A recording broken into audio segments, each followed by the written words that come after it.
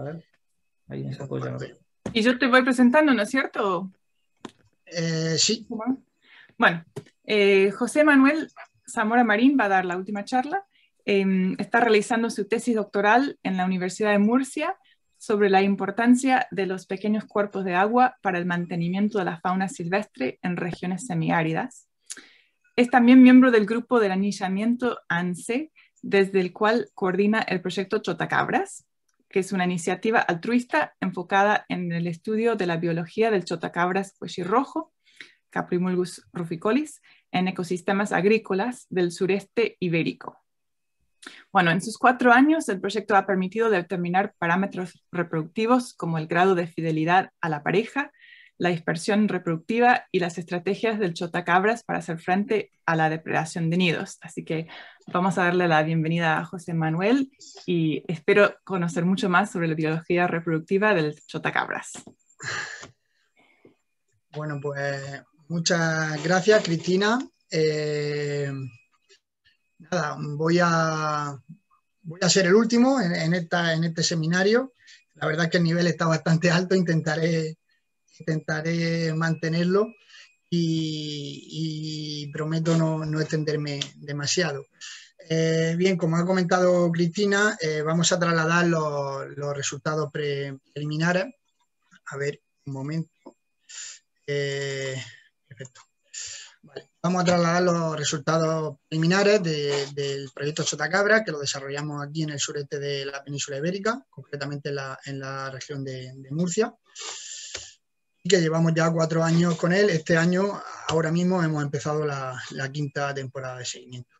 Antes de nada, vamos a contextualizar un poco la charla. Eh, si os fijáis en el título, eh, no menciona eh, lo del proyecto en sí, sino Mm, la importancia de, estudiar la biología reproductiva en este, en este grupo. Y hemos estructurado la charla un poco para seguir un hilo conductor en ese sentido. Vamos a hablar de, por qué es importante estudiar la biología reproductiva en aves. Después nos vamos a centrar concretamente en los caprimúrgidos. Eh, vamos a presentar eh, o vamos a hablar de algunas peculiaridades de, de, la especie objeto de estudio. Aquí cuento con la ventaja de que ya la ha introducido muy bien y, ha explicado eh, bastantes aspectos de su historia natural. Después vamos a hablar sobre el proyecto, sobre cómo lo desarrollamos, qué resultados estamos teniendo y algunas aplicaciones a la conservación de la especie, así como ofrecer algunos retos y planteamientos para, el futuro.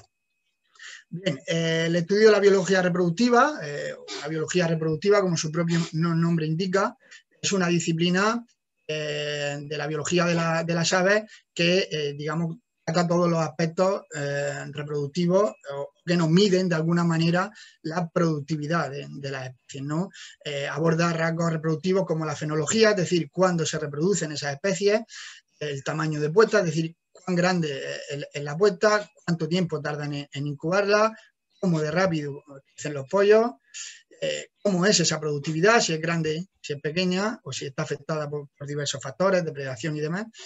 Y también eh, otros muy interesantes como el sistema de otros aspectos muy interesantes como el sistema de, emparejamiento, si, predomina la, monogamia, la poligamia o diversos sistemas de, emparejamiento, la implicación de ambos padres en el cuidado de, la prole, ¿no? Digamos que podemos tener una especie muestra cuidado uniparental, donde solo un adulto se hace cargo de la prole, o otra especie con cuidado biparental, ¿no? Por ejemplo, en el caso de, la especie que nos aborda a nosotros, el chotacabra rojo, muestra cuidado biparental, ¿no? Y eh, estudiar la biología reproductiva es imprescindible escribir la historia natural de, las especies. ¿no? Eh, igual que hay una diversidad muy amplia de, especies de aves en el mundo, en torno a 10.000 especies descritas, y una diversidad muy amplia de rasgos reproductivos de las aves, ¿no? Es decir, un amplio abanico de, diferentes eh, rasgos, desde especies que tienen una fenología muy eh, restringida a un periodo concreto, una, una, una fenología muy, muy corta en el tiempo, hasta especies que pueden estar criando prácticamente durante todo el año y así, digamos, eh, consecutivamente en el resto de, de rasgos reproductivos. En una, en una, revisión que se realizó en el año 2016 en Journal of Avian Biology, que me ha venido muy bien para contextualizar, eh, los autores estudian el, estado de, conocimiento en la biología reproductiva de la ave determinan que solo el 30% de las especies descritas de aves en el mundo están con información eh, relativamente buena de su biología reproductiva. Relativamente buena se refieren a que eh, se ha descrito eh, tamaño de puesta, es decir, cuántos huevos tienen, se ha descrito cuál es el, cuán largo es el periodo de incubación y cuán largo es el periodo de, dependencia de, los pollos, ¿no? de cuidado de los pollos. Eh, fijaos, solo el 30%, ¿no? en torno a 3.300 especies de, esas 10.000. Eh, la mayoría de estas especies que han sido medianamente bien estudiadas, pues son, como ha explicado Carlos, especies modelo, aves marinas de larga vida, albatros, pardelas, pardelas, etc. Aves, aves o limícolas, por supuesto, eh, que ocupan eh, cajas nido, ¿no? por la facilidad que dan a la hora de monitorear esos, nidos. ¿no? Eh, como decía, muy importante estudiar la biología reproductiva porque nos da información muy detallada, muy concreta de en qué fase del ciclo vital de las especies eh, están ocurriendo, están dándose lugares, eh, están, está dándose lugar problemas de, conservación. ¿no? Por ejemplo, nosotros podemos tener una población aparentemente buena o con una densidad aparentemente aceptable de, individuos reproductores, pero esos individuos puede ser o puede ser caso que, tengan problemas para, ser productivos y tener éxito, ¿no? que tengan depredación en el nido, eh, cuando, hay, cuando, cuando están los huevos, cuando están los, los, dependientes. ¿no? Eh, en este sentido, estudiar la biología reproductiva, lo ha comentado antes Carlos, importante y más en este tipo de especies que nos va a ayudar a entender cómo van a responder al cambio global. ¿no? Eh, ha explicado antes el compañero que eh, muchas de estas especies, en concreto el chotacabra cuello rojo, se ponen a unos límites térmicos eh, muy marcados, muy acusados, que en vista de un, calentamiento global en un, en un, medio plazo puede comprometer la supervivencia o, o quizá no la supervivencia, pero sí la productividad. ¿no? Además de estudiar la, biología reproductiva, nos puede, puede dar eh, señal de, amenazas concretas, ¿no? Por ejemplo, eh, el impacto de, determinados depredadores, véase, aquí he puesto un gato feral como, ejemplo, ¿no? o determinadas prácticas como la fumigación o la poda agrícola en especies que, nidifican en, en agrosistemas agrícolas. Bien, eh, ¿qué sabemos de la biología reproductiva en, caprimúgidos? sabemos más bien, más bien bueno, En la misma revisión que he comentado antes, los autores eh, demuestran que el orden caprimulgiforme, ¿vale? No, no, dan datos a nivel de familia, sí a nivel de, orden taxonómico, pero eh, documentan que el orden caprimulgiforme es uno de los menos estudiados en términos de su biología reproductiva, concretamente entre los siete menos estudiados y ya llegando a nivel de familia, de los caprimúrgidos, el, conocimiento de su biología reproductiva es aceptable para 20 especies. ¿vale? Aceptable es decir que, sabemos el tamaño de puesta, el periodo de incubación y el periodo de, cuidado de los pollos. Es moderado para 48, fijaos, para, más de la mitad de las 91 especies que componen esta familia. Es pobre para 23 especies. Es decir, no sabemos absolutamente prácticamente nada de su biología reproductiva, eh, en torno a una cuarta parte o algo más de una cuarta parte de, las especies que componen esta, familia. Eh, claro, esto no es eh, homogéneo en todo el grupo. Hay, lógicamente, una especie que se conoce muy bien, véase el, el añapero boreal, el Cordyceps minor, o véase el chotacabra europeo, por ejemplo, especies que habitan en, países con, recursos para, investigar, donde se le ha prestado mucha atención históricamente. Sin embargo, hay otras otras especies, por ejemplo, aquí os pongo de, ejemplo el egotelo de, Nueva Caledonia, el Aegotele savesi. Directamente no hay ni una foto en internet cuando buscamos. Y esto no es un caso, un caso aislado. Hay, hay eh, diversas especies dentro de esta familia cuando nos ponemos a buscar información es que no, somos capaces ni de encontrar una, fotografía. ¿no? Esta en concreto, el egotelo, eh, está, eh, clasificado como en peligro crítico por la UICN y las últimas citas de, de esta especie son de finales del siglo pasado, aunque está ampliamente aceptado que todavía deben quedar eh, individuos en, estado silvestre, pero seguramente menos de un centenar.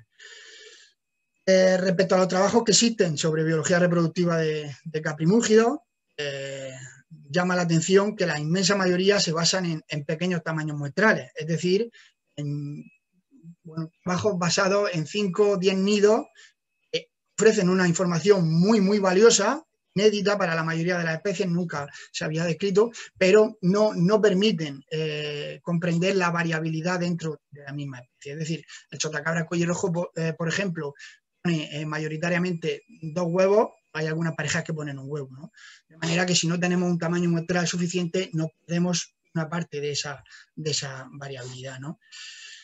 Esto redunda en, la revista en la que se pueden publicar estos trabajos y, consecuentemente, en el acceso que tenemos eh, a, esas publicaciones, ¿no? Eh, ser trabajos con un tamaño muestral limitado eh, generalmente se publican en, revistas eh, locales o revistas internacionales, pero de menor impacto, resulta más difícil acceder a, estas publicaciones, ¿no? Están en literatura gris.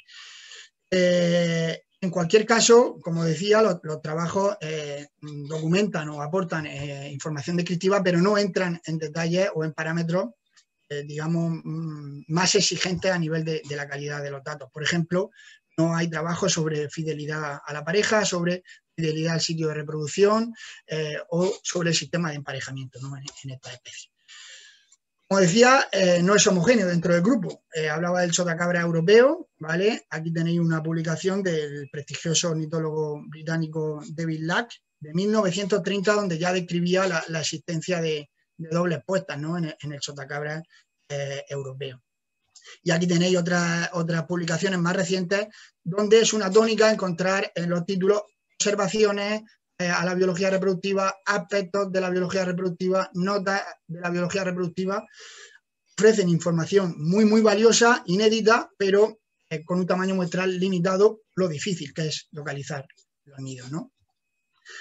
Bien, ¿qué hay información deficitaria de la biología reproductiva de estas especies? Pues como, como comentaba, es muy, muy complicado eh, localizar los nidos. Eh, bueno, hemos estado viendo el caso de, del nordeste de Argentina, eh, donde incluso marcando las aves con, VHF resulta muy complicado localizar el nido. Aquí tenéis una foto de nuestra área de estudio. Parece que alguien diseñó los cultivos de cítricos en especial para que criasen estos chotacabras. Veis que se camufla perfectamente. Eh, aún así nosotros no, buscamos los nidos de día, los buscamos de, noche. ¿no? Eh, sin embargo, en otros hábitats, por ejemplo, esto es Dorset, en el Reino Unido, donde estuvimos colaborando con compañeros de la Universidad de, Oxford, eh, estudiando el chotacabra europeo, y obviamente localizar un nido es, buscar una aguja en un pajar. ¿no? Hay un gran desarrollo de la cubierta vegetal y es, prácticamente imposible si no tienes al ave radiomarcada con, con VHF. Bien, en cuanto a una pincelada sobre las la características de, la especie que nos aborda, sobre el, cabra cuello rojo, Capibungu ruficoli.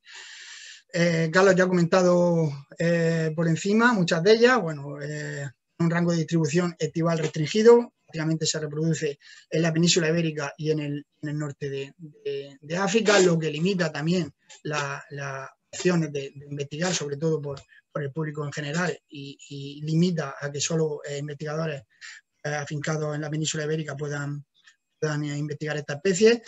es una especie con requerimientos de múltiples hábitats, como ha dicho, como ha presentado Carlos.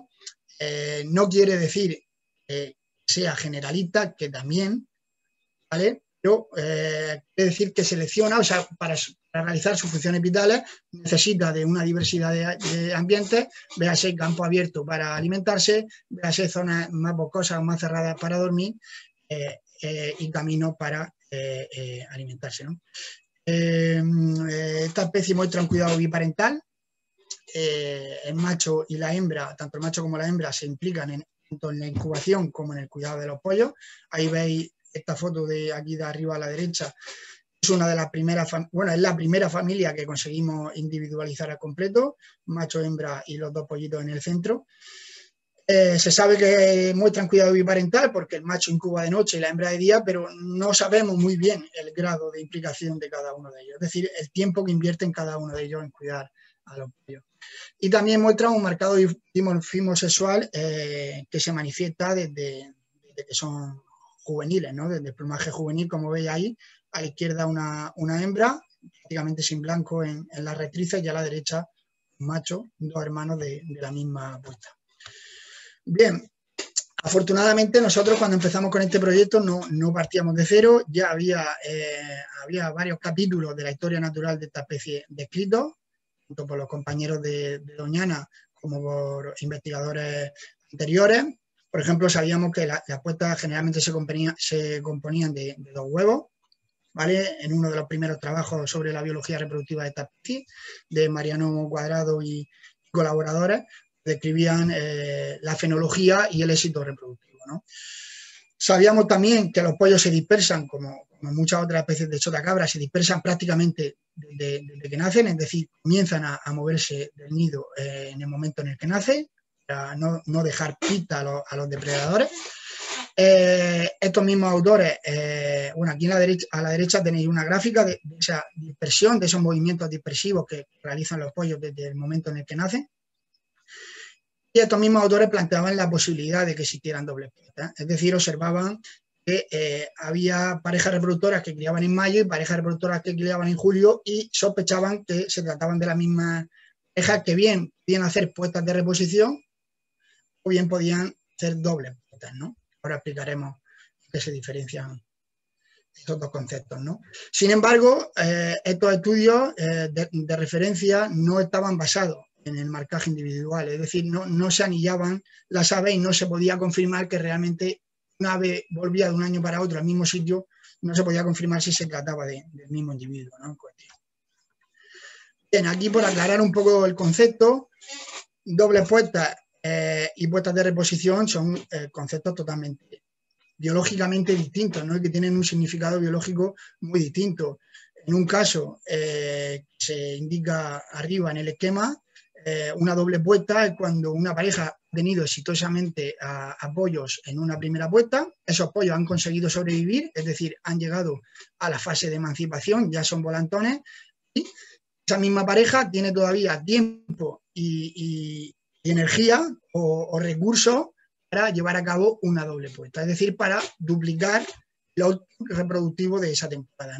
Sin embargo, una puesta de reposición es eh, un intento reproductivo a intentar compensar una pérdida en el primer intento. ¿vale? Y tiene un significado distinto. No me ha dado, no he podido, he fracasado en el primer intento, este año tengo que salvar los muebles, voy a intentar eh, un segundo intento para, para, sacar pollos. ¿no? Eh, más cosas sobre la biología reproductiva de, esta especie. en un artículo de, de 2013, Carlos Camacho describe la fenología eh, reproductiva basada en, la observación de placas incubatrices de, la hembra capturadas en los caminos. Como podéis ver, eh, se describe una fenología muy amplia, ¿no? prácticamente desde mayo hasta agosto podemos encontrar hembras eh, en el momento de esa publicación se trataba de, la especie con la fenología reproductiva más amplia que había en el, Paleártico, ¿no? Es decir, aprovecha al máximo su estancia en la península ibérica. Bien, sin embargo, quedaban muchos otros aspectos sin, abordar. No, se había descrito el ritmo de crecimiento de los pollos y eso es muy importante eh, eh, para conocer de cerca cuál es la estrategia de, supervivencia de, los pollos y cómo, eh, desarrollan por completo el plumaje para adquirir la, capacidad de vuelo. Pero también esas curvas de crecimiento nos iban, iban a permitir retrocalcular las fechas de, de incubación de, aquellos nidos que nosotros encontramos ya cuando tienen pollos. ¿no? se había documentado, por ejemplo, eh, las dobles puestas, eh, había poca información relativa a, las causas de fracaso reproductor y, prácticamente no había nada ni de esta especie ni de otras de, eh, de caprimúrgido, nada de información relativa a la fidelidad a la pareja y al, territorio de reproducción. ¿no? En ese contexto empezamos el, eh, proyecto Chotacabra en el año 2017. ¿vale? Eh, desde el grupo Anillamiento ANSE veníamos trabajando ya eh, prácticamente desde 2012 con esta especie, pero es cierto que, bueno, adquiriendo, adquiriendo experiencia en el manejo, en la búsqueda de nidos, pero todavía no habíamos conformado un proyecto. este fue el año en el que realmente nos pusimos más en serio. Y bueno, la iniciativa surgió a raíz de contactar con, propietarios agrícolas, eh, estudiar la, viabilidad de desarrollar el proyecto en su, en finca y ahí comenzamos un seguimiento a largo plazo de una población reproductora, ¿no? en torno a 45 o 50 parejas. Eh, aquí podéis ver en la foto de abajo eh, que estamos reunidos con los, mismos operarios, encargados y, directores de, la finca agrícola, donde les, trasladamos, les trasladábamos nuestras inquietudes y la colaboración y cooperación por su parte fue, fue, fue total y sigue siendo total hasta ahora. ¿no? Eso nos da facilidad de acceso y trabajo en la finca, finca privada, donde podemos dejar eh, cámaras de fototrampeo, dispositivos electrónicos, etcétera, sin ningún, ningún miedo a que pueda haber robo. Y al fin y al cabo lo que teníamos era un, laboratorio a, cielo abierto. Bien, eh, aquí Obviamente, eh, todo este trabajo no lo desarrollo yo solo, hay un equipo técnico de compañeros y sobre todo amigos detrás. Por un lado, eh, los que llevamos a cabo el proyecto en el campo, mi compañero Antonio Zamora, Mario León García y un, servidor. Y además tenemos de colaboradores a los compañeros de Nayarin, de Nayarin a Pedro Sá y a Carlos Camacho, que prácticamente desde que, bueno, prácticamente no, desde que empezamos el proyecto han estado detrás ayudándonos en el diseño y en, y en, y en la mejora ¿no? del trabajo de campo. Además, pues como podéis ver, hay una implicación bastante importante de voluntarios, diferentes de otras ONG, compañeros, eh, grados de biología ambientales de la Universidad de Murcia, etcétera. Bien, en cuanto al área de estudio, muy brevemente, ahí os señalo donde se ubica, aproximadamente en la, península ibérica, en el sureste ibérico, concretamente en el centro de, la región de Murcia, ¿vale? En, el pie de monte de un, parque regional dominado por, Pinar o por bosque mediterráneo, pero principalmente por Pinar. Pero digamos que el área de estudio propiamente dicha se, eh, encuadra en cultivos de, cítricos, principalmente naranja, limón y pomelo, ¿vale? Eh, trabajamos dos fincas, una a la izquierda que eh, desarrolla práctica intensiva o desarrolla agricultura tradicionalmente intensiva, con, aplicación de fitosanitarios, con podas, etcétera, la finca de la derecha, que tiene unas 200 hectáreas, hace producción integrada con prácticas menos agresivas ¿no? con, la biodiversidad. Eh, podéis ver que está recorrida el área de estudio por varias eh, ramblas, ¿vale? No, tienen agua, que tienen vegetación natural y se componen de cuadrantes de, o sea, de parcelas rectangulares de, cultivo. Aquí tenéis algunas fotos mm, del, hábitat. Eh, arriba y a la izquierda podéis ver cómo se distribuyen esos, cultivos, pero eh, atravesado por Rambla y bordeado por, matorral mediterráneo, pues, eh, resulta muy atractivo para, la especie objeto de estudio. Bien, eh, no obstante, el área de estudio, nosotros trabajamos en esa finca en concreto donde desarrollamos los, censos, captura y demás, pero en torno a, a 2 y 8 kilómetros del área de estudio eh, podemos encontrar otros hábitats que son ampliamente utilizados por nuestra población, no solo por la especie, sino además por nuestra población para alimentarse. Son cultivos de algodones eh, o cultivos de alfalfa, eh, de, generalmente de herbáceas, que son utilizados por nuestros chotacabras diariamente para alimentarse eh, y lo sabemos gracias a, marcaje que hemos realizado con GPS y, VHF. También hay carreteras asfaltadas e incluso la presencia de un, río de mayor calibre e intermitente que es eh, eh, utilizado intensivamente por, los, chotacabras. La mayoría de chotacabras se van justo a la ribera de ese río a alimentarse. Bien, en cuanto a la técnica de estudio, aquí he querido poner una, foto homenaje un poco a, a cuando empezamos. Esto fue en un carnaval pero refleja más o menos bien cómo, cómo capturamos a los chotacabras, de igual manera que lo hacen eh, los compañeros de Argentina o Doñana. Eh, realizamos censos nocturnos en vehículos eh, por todos los caminos del área de estudio. la frecuencia de salida empezamos saliendo una vez a la semana y en los dos primeros años nos dimos cuenta que si reducíamos la frecuencia de salida una vez cada dos semanas, teníamos prácticamente los mismos resultados, es decir, encontrábamos prácticamente los mismos nidos. Comenzamos una hora después del ocaso, cuando digamos que ellos ya muestran, eh, o sea, es más fácil capturarlos porque ya han comido algo y no están sumamente activos. Lo que hacemos es eh, un transecto por los caminos con, con linterna desde el coche, eh, foqueando y buscando eh, chotacabras por el brillo de, los ojos. Lo capturamos con delumbramiento, con un pequeño salabre de mano. Y igualmente, mm, si los chotacabras están dispuestos en el interior de los pasillos de los cultivos, pues en su mayoría suelen tener nidos, localizamos los nidos y los señalizamos. Bien, como decía, si localizamos los nidos, los señalizamos para evitar que haya pérdida por, las labores agrícolas, eh, colocamos cámaras de, de videotrampeo para monitorear el, desarrollo del periodo de incubación y bueno, hacemos un control hasta que los pollos eclosionan, tienen entre 5 y 10 días, que es cuando los anillamos y capturamos los adultos y a los pollos.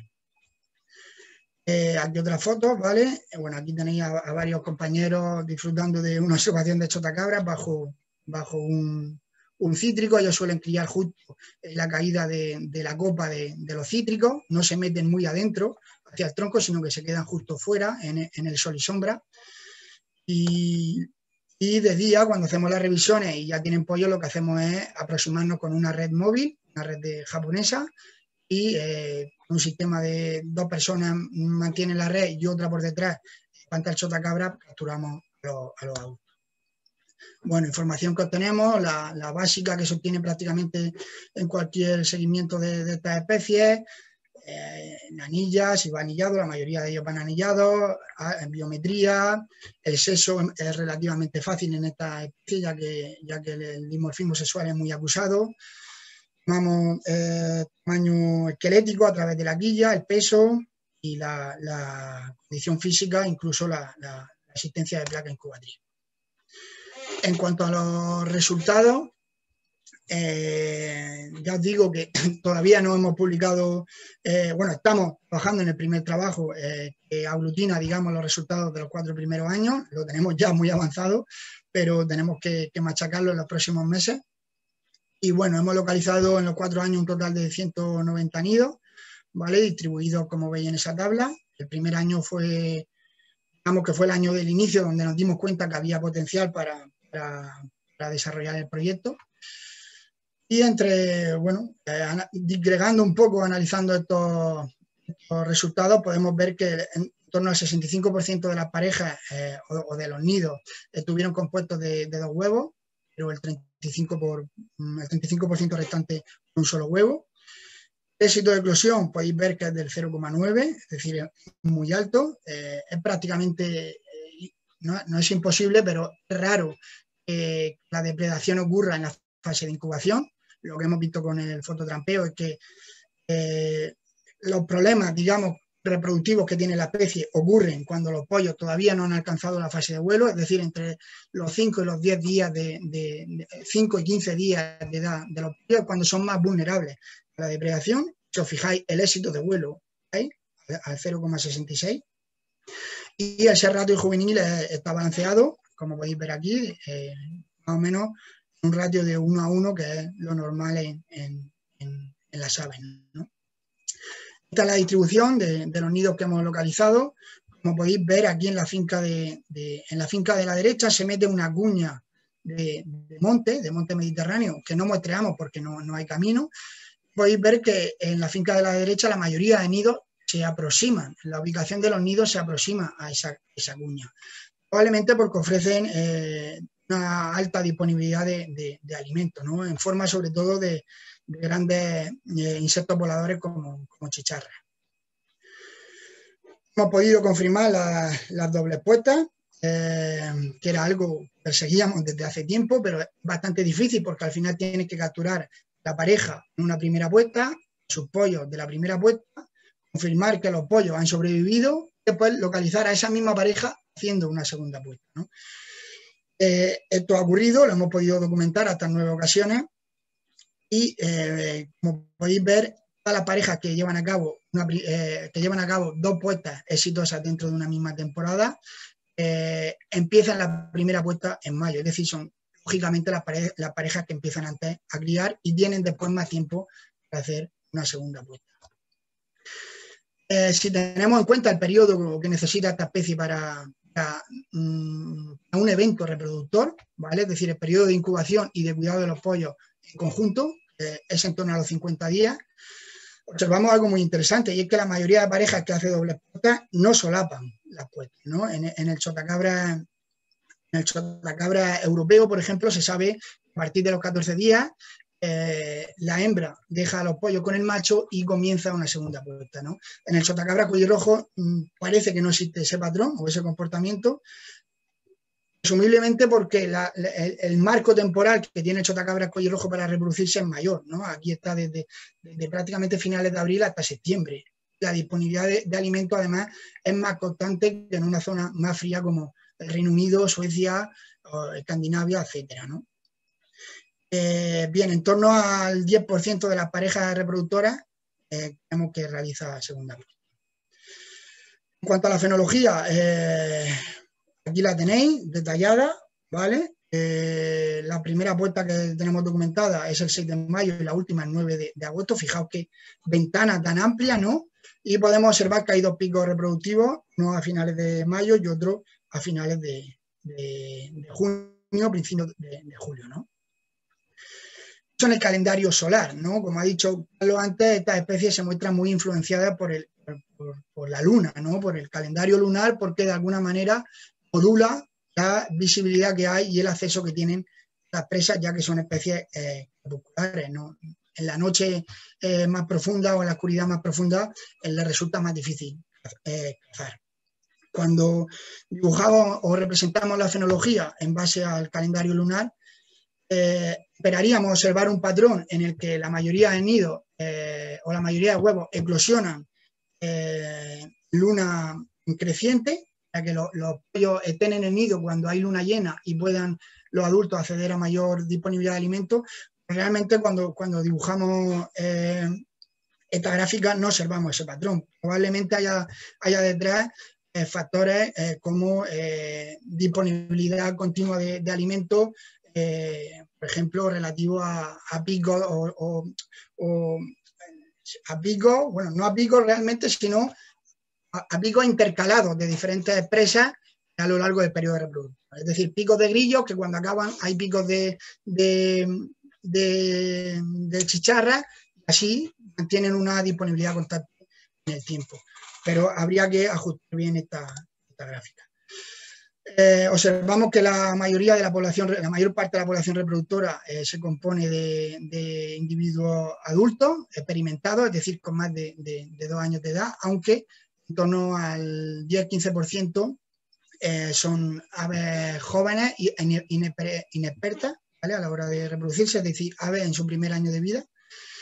Y observamos también que el, reemplazamiento en esta población, es decir, el ritmo al que entran nuevos reproductores, constante, ¿no? Podéis ver en la gráfica de abajo, eh, en el primer año, lógicamente, todo eran anillamientos, nuevas capturas, que era el primer año que trabajábamos, pero en, los tres años restantes, los tres últimos años, digamos que la proporción de, nuevas capturas eh, es constante, ¿no?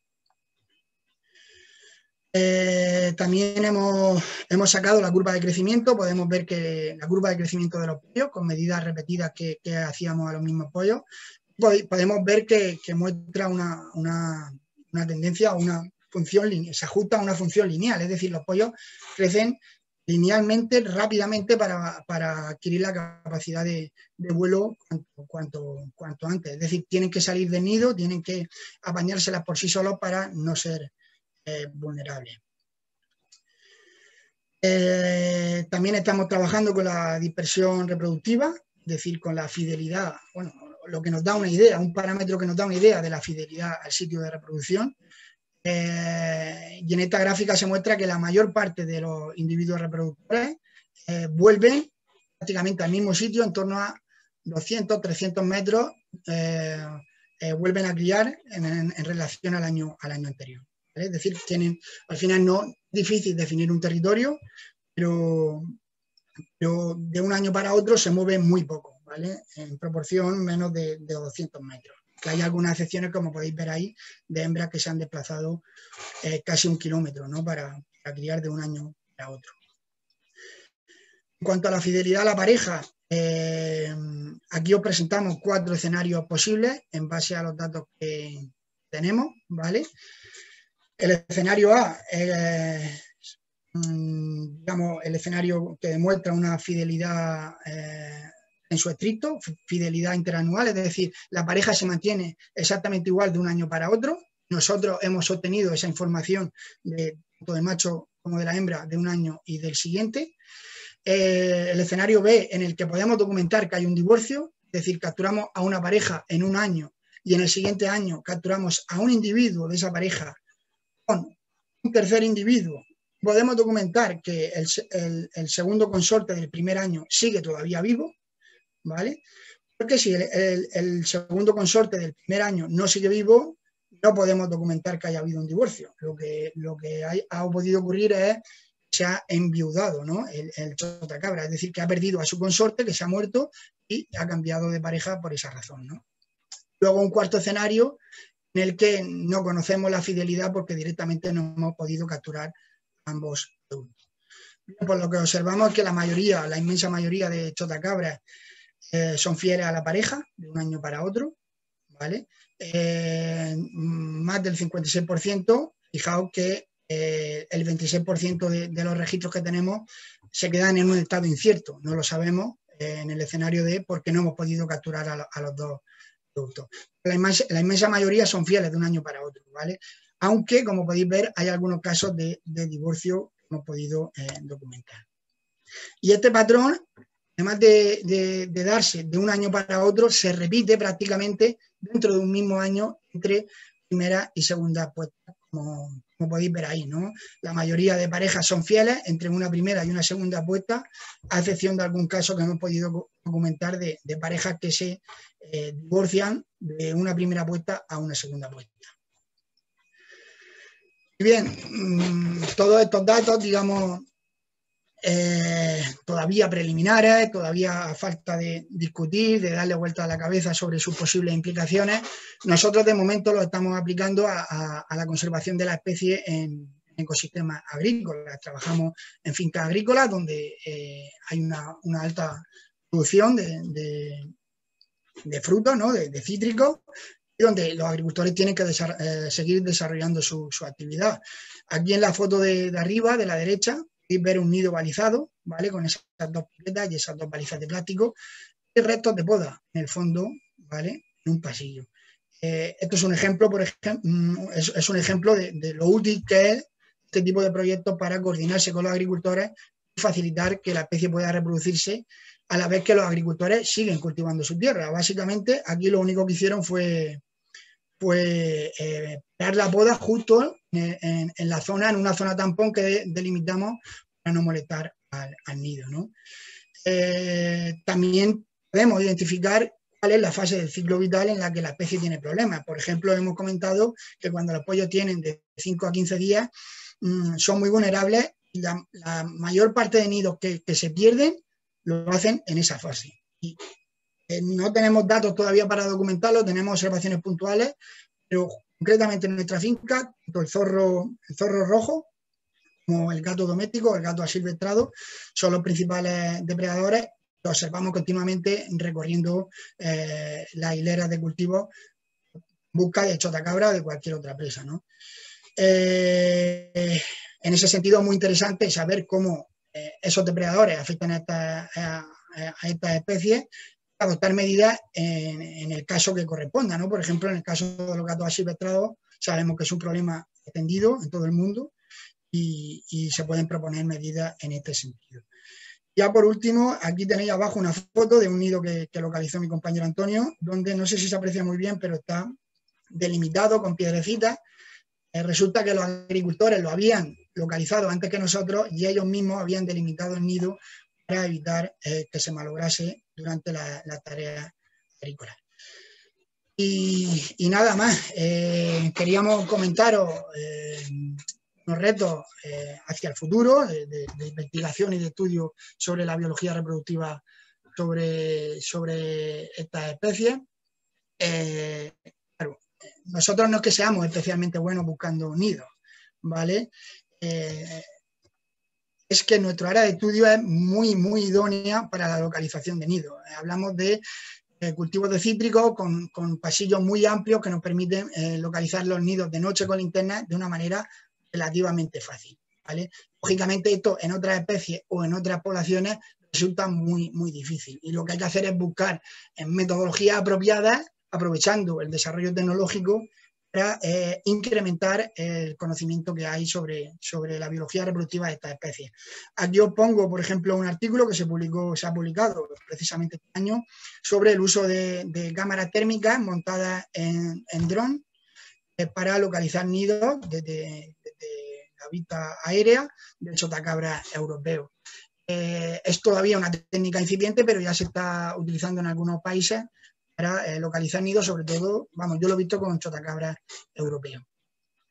Y por último, bueno, pues hay todavía muchas líneas que abordar dentro de la biología reproductiva de, concretamente de esta especie, pero también extrapolable a otras muchas, de caprimúrgidos. Por ejemplo, no sabemos eh, es o cuál es el grado de implicación concreto de, ambos sexos, ¿no? el tiempo que dedica y las implicaciones fisiológicas. Si la hembra está todo el día en el nido, está expuesta a, un estrés mm, motivado por el, calor y las altas temperaturas que el macho no está expuesto. ¿no? Eh, otro aspecto muy interesante a abordar es el sistema de emparejamiento. Eh, hay algunas notas, por ejemplo, nosotros colaboramos en esta pequeña reseña que publicamos en en Study, sobre observación de posible poliandria en el chotacabra europeo. Claro, al final todo esto mm, se limita a pequeñas observaciones porque no hay estudios a largo plazo que, permitan eh, obtener datos de calidad.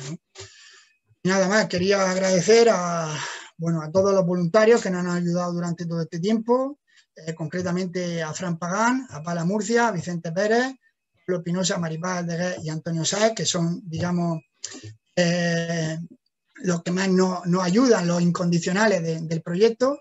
Queríamos mostrar también nuestro agradecimiento a, una de las empresas agrícolas donde desarrollamos el proyecto por su ayuda y, su colaboración y por supuesto a los compañeros de Nayarin con los que colaboramos y también al, Laboratorio de, Zoología de Vertebrados de Chile por, organizar esta, esta ponencia.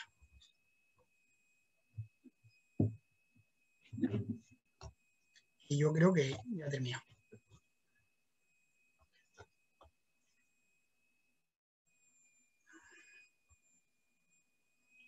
¿Hay alguien ahí?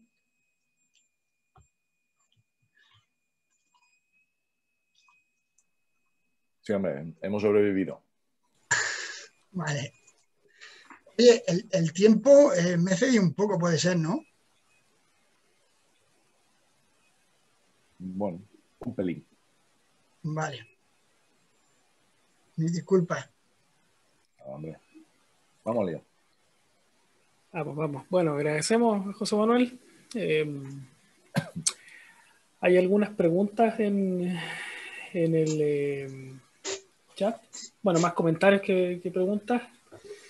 Voy a leer una de eh, Gianco Angelozzi, que expresa sus felicitaciones y pregunta si han analizado el destino, si el destino de la apuesta inicial tiene alguna influencia sobre la decisión de divorciarse o permanecer con la pareja. Perdón, eh, Juan, si el destino, es que me he perdido al principio, si el destino de... Si, si, si los resultados de la apuesta tienen alguna influencia en la decisión a la temporada siguiente de quedarse con esa pareja o cambiar. Vale, eh, muy interesante. A ver, eh, lo que hay descrito con fidelidad a la pareja en muchas especies de aves es que, lógicamente, la, productividad o el éxito reproductor eh, influye en gran medida en, la decisión de emparejarse con, el mismo consorte o no. claro, nosotros hemos hecho análisis y hemos testado varios, varios factores, concretamente la edad, el sexo, pero realmente la productividad no la hemos metido en los, análisis porque, entre otras cosas, pensábamos que no íbamos a tener datos suficientes de productividad, eh, porque muchos nidos no hemos podido monitorearlos intensivamente, dado que es muy difícil localizar a los pollos eh, de un mismo nido a lo largo de todo, de todo su desarrollo, porque se van moviendo y se camuflan muy bien. Y todos esos datos que hemos mostrado aquí de, productividad, de éxito, de vuelo, de éxito de eclosión y demás, lo hemos traído eh, hace muy poco de, la base de datos. Pensábamos que no íbamos a tener eh, suficiente tamaño muestral, pero no, hemos podido meterlo en, en, esos GLM que hemos realizado eh, y los meteremos, por supuesto, porque creemos que es un factor que tiene que influir. Probablemente sí, no lo sabemos, no lo hemos testado, pero, pero lo vamos a hacer próximamente. Bueno, y además hay un comentario de, José Bonal Barrera que dice que en Cádiz utilizan eh, las podas de años anteriores y los restos de vegetación vieja y muerta para utilizar sus nidos, que es un escenario, imagino, similar a lo que ustedes observan en, el contexto de las plantaciones agrícolas, con su especie. Bueno, realmente, eh, claro, ahí en algunas fotos se ha podido observar que eh, ellos, digamos, emplazan los nidos en zonas donde hay eh, restos de poda, triturados y demás. Eh, les viene genial en el sentido del de, el contexto espacial para, camuflarse, pero sabemos, por ejemplo, que los trabajos agrícolas o, el cambio del microhábitat justo en el momento de, incubación conlleva a la fracaso reproductor, aunque el nido no se malogre, quiero decir, aunque pase la máquina triturando los restos de poda y, no se pisen los, huevos, ese cambio en el, contexto espacial de, a, pequeña escala del nido hace que los chotacabras al final abandonen porque bueno, han notado un cambio importante en, digamos, los patrones de distribución de los elementos en el paisaje a pequeña escala y al final eh, es lo que estamos intentando trabajar, ¿no? evitar que, los trabajos agrícolas se, desarrollen justo en el momento en el que esta y otras muchas especies están, están nidificando. Eh, a la hora de criar, si utilizan sustratos de restos de poda y demás, eh, sustratos, digamos, con un grosor mm, considerable, no. Eh, suelen, suelen ubicar los nidos en zonas donde hay un poco de hojaraca, donde hay un poco de, rama, pero digamos que en, tramos de, sustrato, una colcha de, vegetación o, de restos de poda, no, lo hemos visto nosotros nunca. No sería raro, pero no lo hemos visto. Bueno, muchas gracias. Em, quizás este sea el